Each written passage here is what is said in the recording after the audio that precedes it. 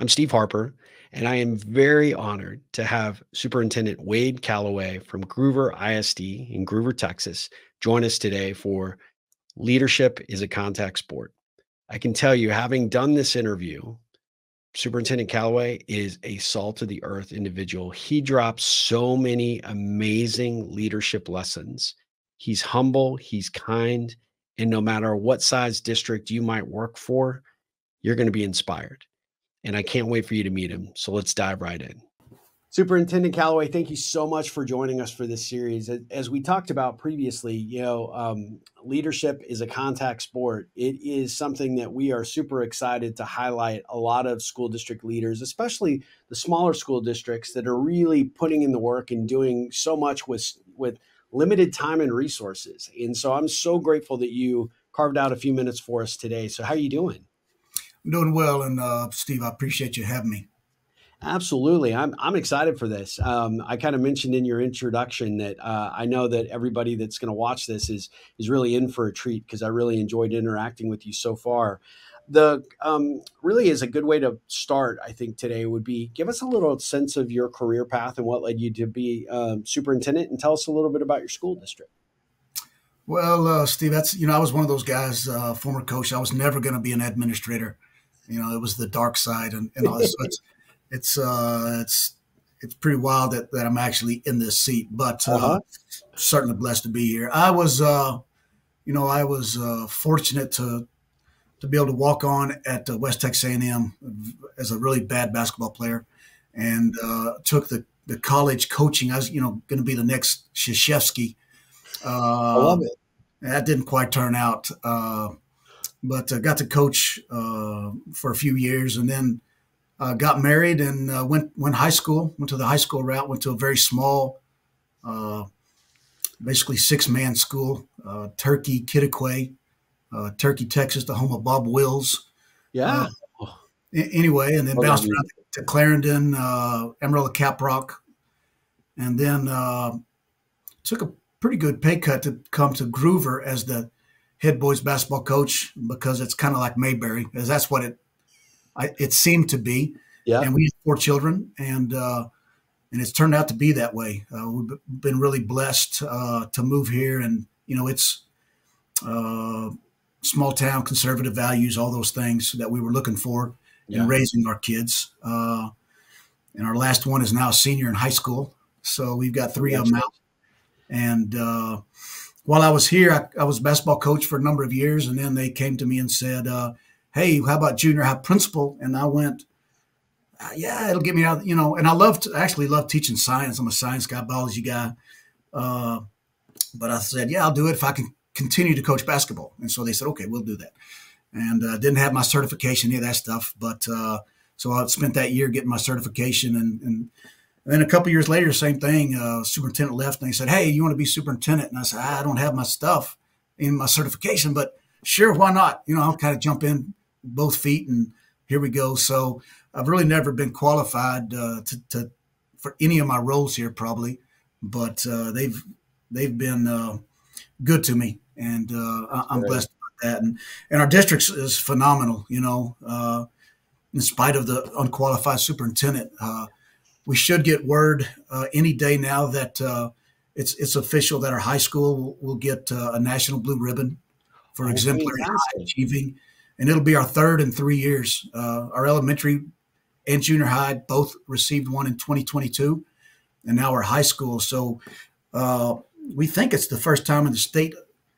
Uh, the state's history that a district that has at least three campuses, every single campus has received this national blue ribbon uh, and for sure, within a three-year uh, time span, I don't think it's ever been done. So that's awesome. Uh, congratulations, awesome people. Yeah, it's uh, you know, surround yourself with great people and support them, turn them loose, and that's what we do. well, that was going to be my next question. Describe your leadership style, but I think you may have just encapsulated that right there. but what, what, would you consider your leadership style? Obviously, um, being a basketball coach, uh, that's probably informed some of how you've taken that into this role. But you know, share a little bit of your philosophy there. Well, I, I was a pretty old school. Uh, basketball coach. I, I, you know, again, was blessed to work under some great Mark Adams, who was Big 12 Coach of the Year at Tech. Uh, yeah. Was walked on for him. He he made one really bad decision. That was to keep me around, but I appreciate it. Uh, Rick Cooper, Jeff Morgan. I mean, some great leadership. Uh, so I, you know, obviously, I learned a lot from them uh, and owe them a lot. But uh, I would say, servant is is really. I'm I'm here to support our people. Uh, you know, and and that comes in different ways. But if I need to, you know, watch a classroom or or whatever I need to do, there's no there's no job too small for for me to do here. You know, uh, plumbing, mow grass. I don't. It doesn't matter. That yep. my job is to support the teachers because the teachers are the boots on the ground for the kids, and the kids are the reason that we're in this profession. And I think there's no greater impact I can have on students than to support our people. And uh, that's what I try to do to the best of my ability. I love that. That's fantastic, and that's that's a great philosophy to have. I think a lot of uh, superintendents and school leaders will benefit from hearing that from you you mentioned Mike Krzyzewski, right, for Duke. Uh, for those that aren't familiar, you know he was the Duke uh, basketball coach, lots of success, national championships. But one of the things that um, always struck me about him and his approach was his leadership style in organizing those teams. Have you been inspired since you mentioned his name? That kind of like maybe that was the high watermark for you. Have you have you been inspired by anything he or any other coaches along the way that influenced you as a player? Um, lessons that they shared with you that you actually put into practice today?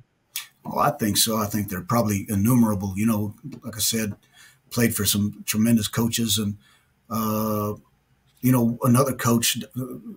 The basketball people know his name's Don Meyer. He he had a some coaching clinics, and and I was fortunate to go to some of them, and and he uh, he, he was pretty instrumental in in and some of my philosophies as well. Just you know, it's the little things that matter and uh, attention to detail, uh, those type of things. Uh, you know, try to outwork everybody. You know, do things right. Just simple, simple things that we've heard uh, over and over, but uh, uh, they're cliche for a reason. You know, because there's so much truth packed in them. And again, you you know you don't take yourself too seriously yeah. work really hard, and and be good to people.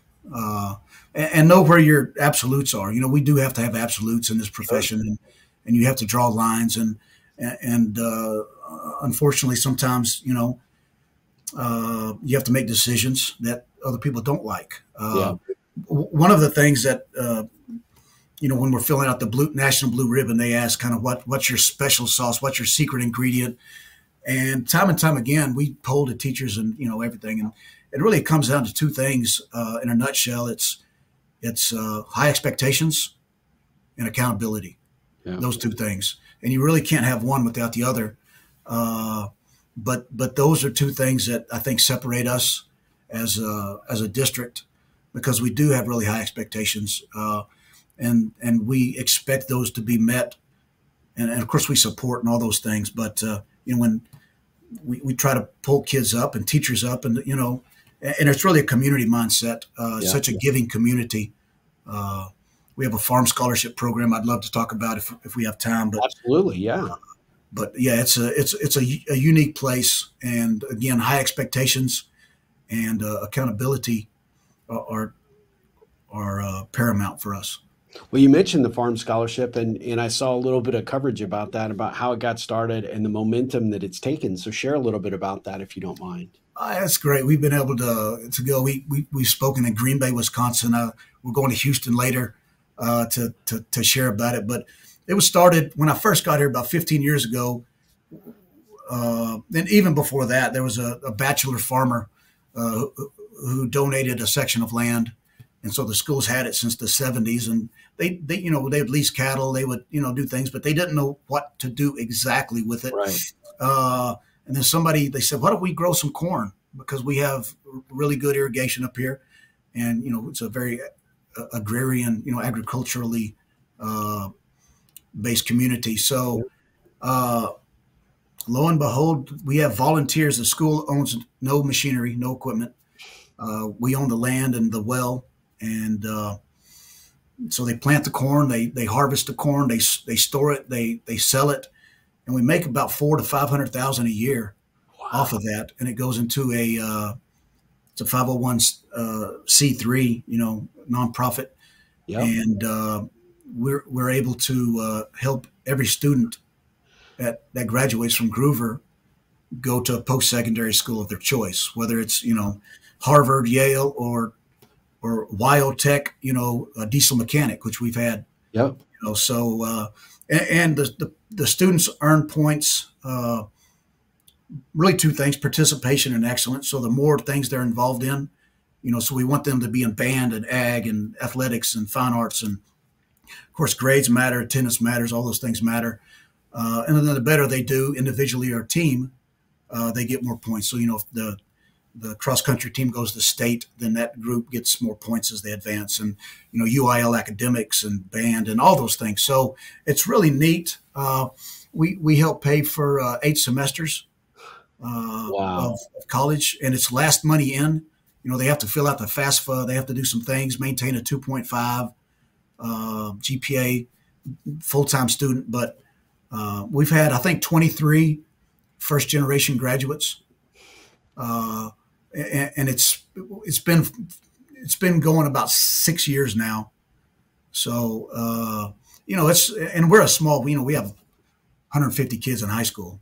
So you know, when we get uh, 23 first generation graduates, it, it, it's that's significant. You, you know, and, yeah. it, and it impacts them, but it, it impacts generations. Sure. You know, now not only do they get impacted, but their children, their children's children.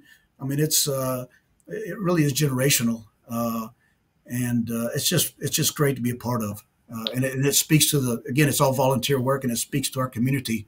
Uh, pretty cool.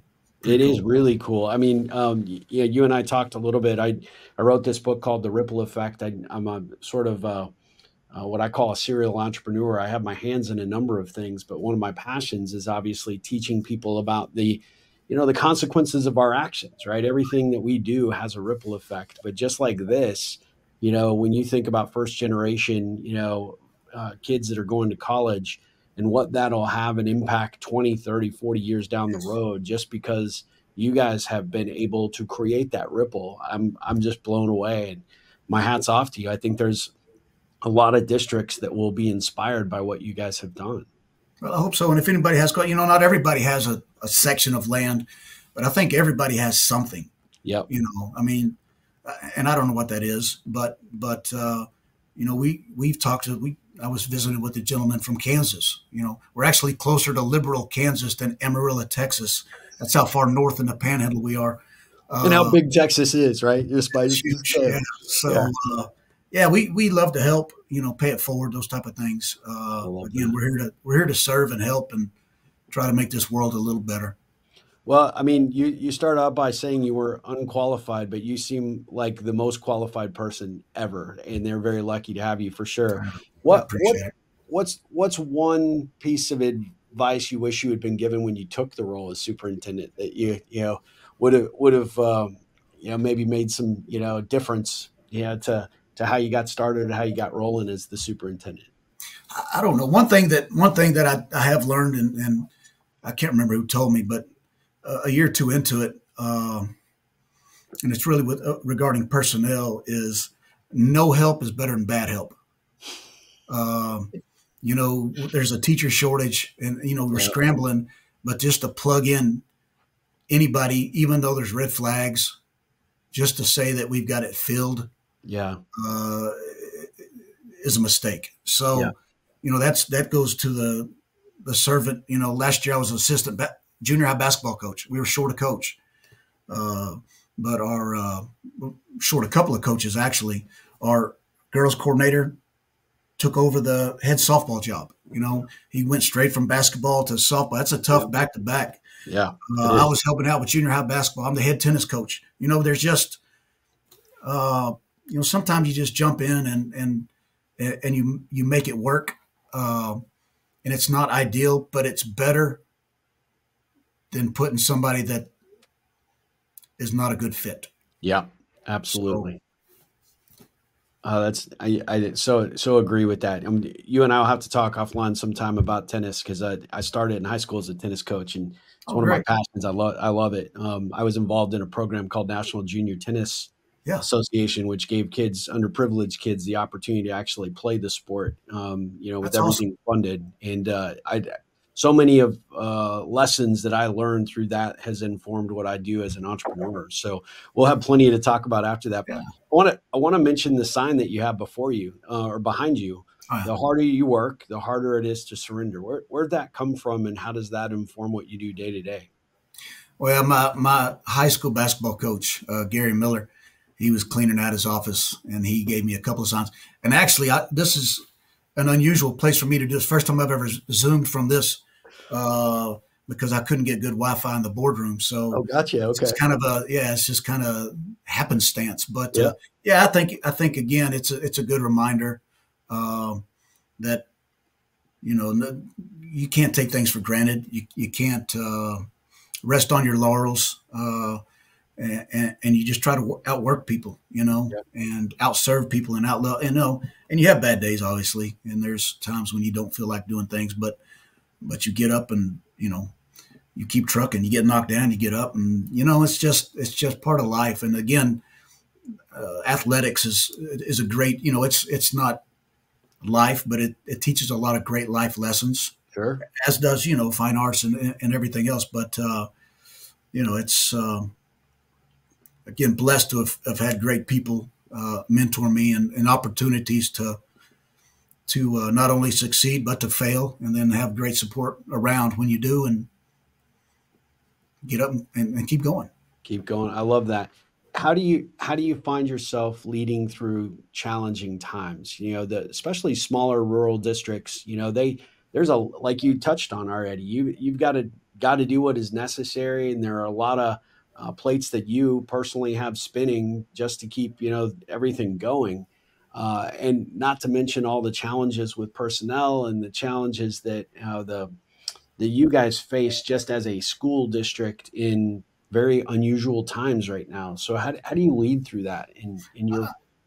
I, I, it's just it's just my person. There's a, a lot of different ways to do it, but I but I, I take it on uh, head on. You know, I, I don't I don't like uh, leaving things for the next day. If, if there's if there's an issue that's festering, I, you know, we, we, again we have a community with really high expectations, which is good, but it can be bad because you know we lose a couple of games, we, we want to fire the coach and or this, and, you know. So we've had you know we had a a, a period of time uh, two years ago where we you know we had parents and, and grandparents that weren't going through the chain of command. You know, you you know the, the stories, yep. and and uh, so about the third thing in a week happened, and I just called a meeting, a community that said, "Hey, we're going to have an extracurricular parent meeting at the gym uh, tonight at six. Please be there."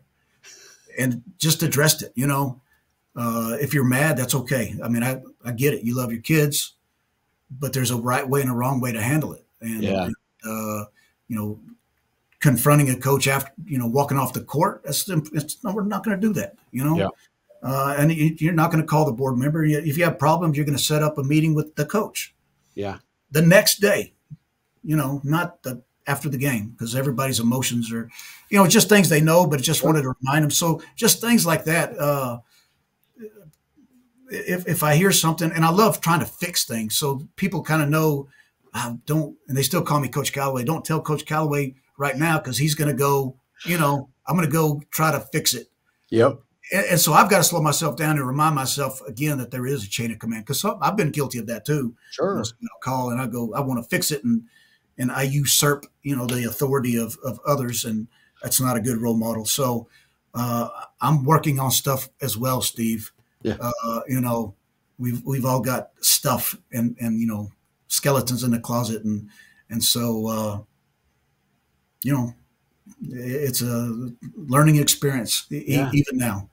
Well, you know, I think that's what makes you a great leader, right? Self awareness and the commitment to continue to get better and to continue to learn and lead from what you're you're you're educating yourself and how you're and your experience. I think that's phenomenal. When you talk about the the parent meeting, it, it you know, one of my favorite basketball movies is Hoosiers, right? And I remember yes. when they bring him into, I think it's the local barber shop, right? And everybody's there um, before he actually officially takes the job. And, um, you know, you, you, trying to temper the expectations of the community in addition to trying to make sure that this coach doesn't just leave or quit uh, right. based on the pressure. I think is kind of unique. So that you, you made me think of that uh, that movie, which is one of my favorites. So. It's great. Yeah, it's a great movie. Love it.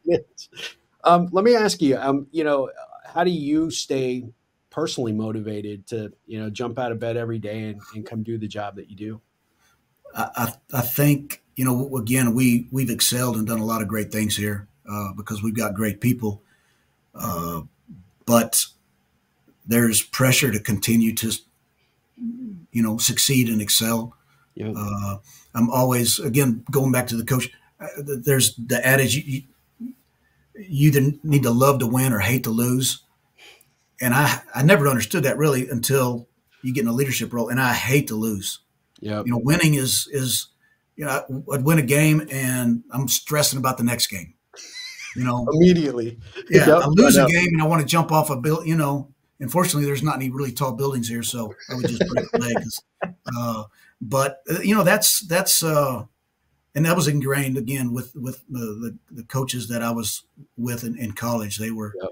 you did not want to lose, you know, and so uh, uh, fear of failure, and that's probably not a great uh, motivational. I mean, there's probably a psychologist would probably pick me apart with that, but but it, it, I, I, think there's truth for me I, anyway that I just I, it's not an expectation to succeed, but it's an expectation to do everything we can to succeed and make sure it's right and give ourselves the best chance to win. Yep. And you, you, whatever that is, and winning, you know, in, in, in this this profession is, you know, 23 first generation, you know, and really we do want to educate, but we really want to make good neighbors. That's kind yeah. of our that's the most important thing. We do want to educate them, and you know, uh, the, the, example that that I give is, you know, Ted Kaczynski was a brilliant mathematician. Sure, but he was a lousy neighbor. You know, yeah, yeah. Uh, and then you get a guy like uh, Winston Churchill, who was a terrible, terrible student. You know, yeah. but but you know held uh, held the Allies together in a yeah. in a in a obviously pivotal moment in in world history. So uh, we we want to make more Winston Churchills than than Ted Kaczynskis for sure.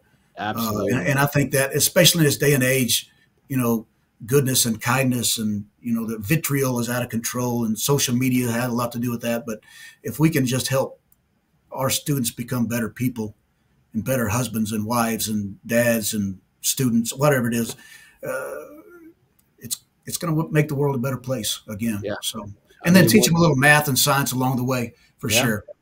I mean, that's a that's a great mission, and you're you're clearly fulfilling it. And I, I love how you you weave that back into expectations and accountability. You know what you know you know what the rules of the game are, what the expectations that you're setting for yourself, but ultimately how you hold yourself and others accountable for what the actual in game is, right? Let's yeah. make better people, right? Better kids. Yeah. And, in our uh, community. Yeah. Yep. Sorry, go ahead. No, go ahead. Go ahead.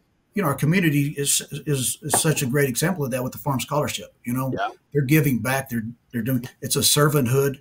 Uh, we started a, a, green cord.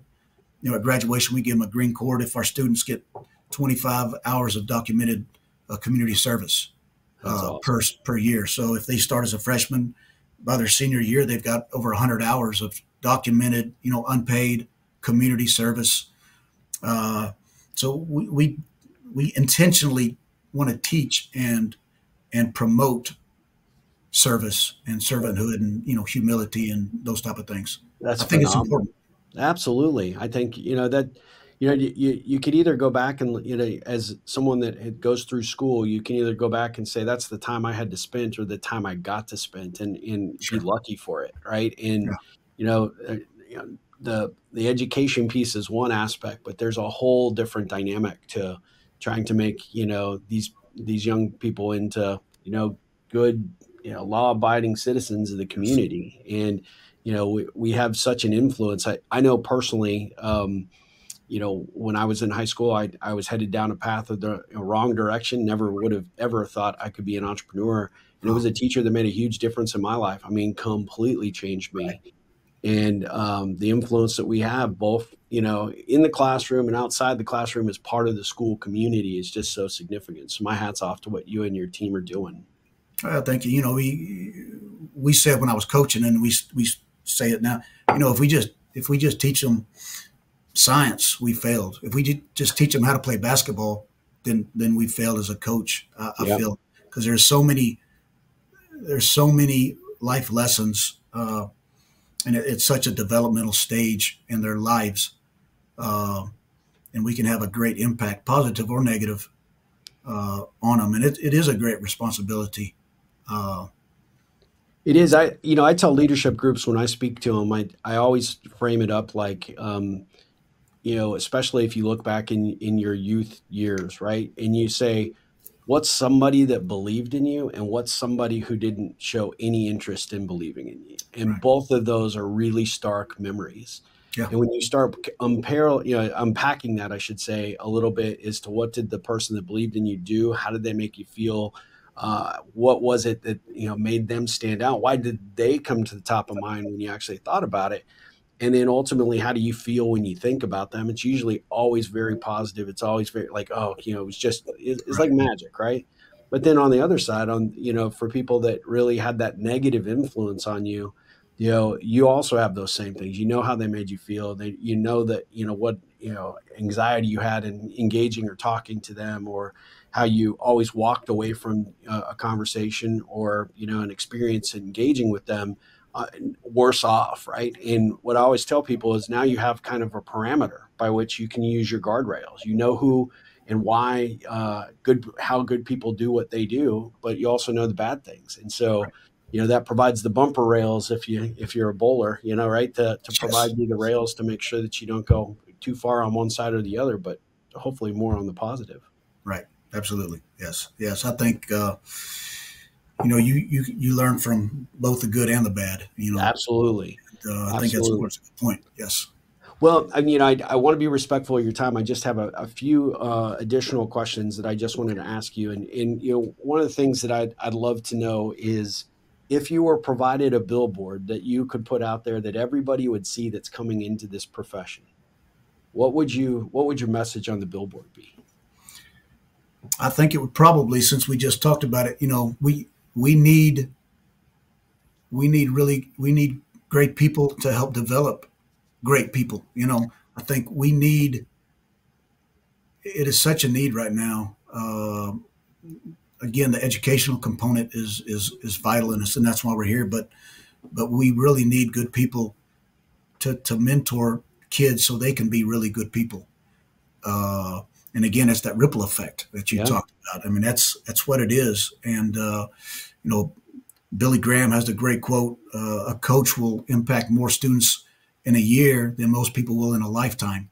Yeah. And, and, it's it is such a powerful, uh, important, vital profession, uh, and it's a little bit under attack here in the state of Texas. You know, there's yeah. a little bit. Uh, you know, even our legislature, you know, public school is, you know, woke, and I, maybe someplace I, I, I don't yep. know, but not here certainly. And and uh, uh, it's it's a great noble profession, and uh, we need good people in it.